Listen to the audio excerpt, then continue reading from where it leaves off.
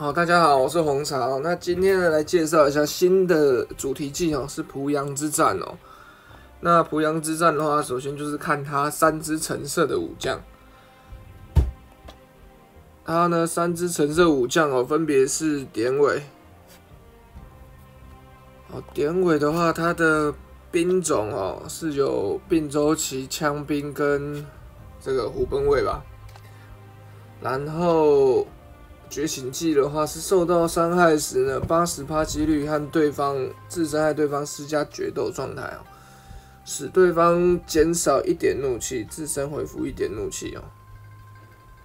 那这一版的话，我觉得它就是在决降低怒气的部分哦，去做一些呃提升哦，还有重点。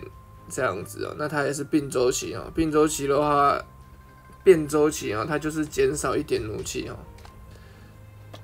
然后这只吕布哦，是敌军减少怒气时哦，有一百趴几率自自进化自身不良状态，并额外行动一次哦。所以这个的话可以搭配一些什么降怒甘宁阵啊，或者是像呃闪避阵。哦，闪避成功的阵哦，都是可以去搭配的。那成功哦，讲到刚刚成功降怒哦，这边来试试看，它也是变周期谋士跟藤甲兵。觉醒技的话是受到武将伤害时，对目标造成两百四十帕的伤害哦。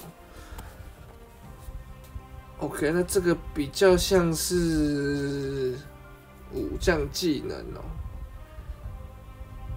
啊，就有点像是之前像姜维啊，他是可以受到武将技能伤害时，可以有几率封印，那他是造成对方伤害哦，算是一只坦的角色吧。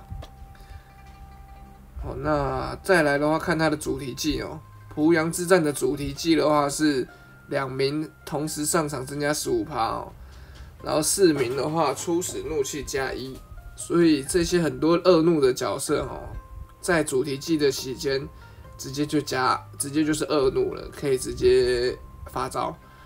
那再来是六支濮阳之战哦，是激活技能的，是回合开始时五十趴使敌军降低一点怒气哦，六十趴回复自身怒气。呃，这个的话就是可以，我觉得这里面全部弄起来降低敌方一点怒气，就可能是像吕布。我觉得这三支里面吕布应该是最强的哦。因为如果开局就直接降低怒气的话，吕布就可以直接动，直接先动了。那典韦的话，就有点像是 SP 太史慈的那种概念哦。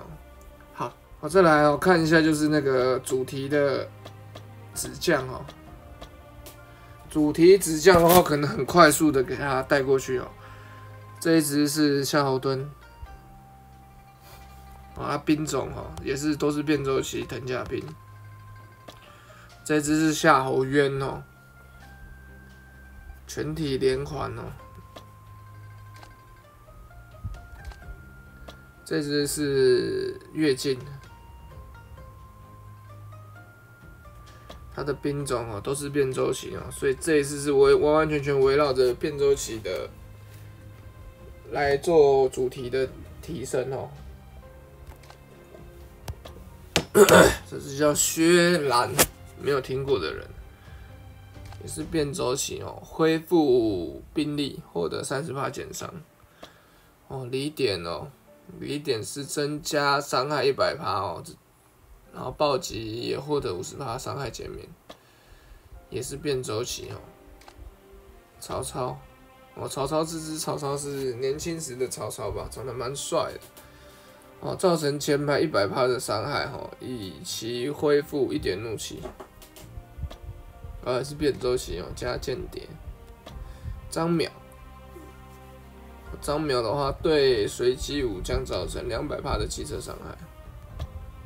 变奏型哦，我就快速带过哦。这次怎么子将好像还蛮多的。恢复己方数牌哦，并恢复一点怒气哦。那这个也是变周期一关哦。也是补血的，他叫李峰，没有听过的人。陈玉，神谕的话，恢复己方最少很多都是补血的哦，那也是变周期，还有医官补血的嘛。最后一只是荀彧哦，荀彧对敌方全体造成一百八十八汽车伤害，恢复一点怒气。变周期跟模式。好，那今天的影片就到这边了，谢谢大家。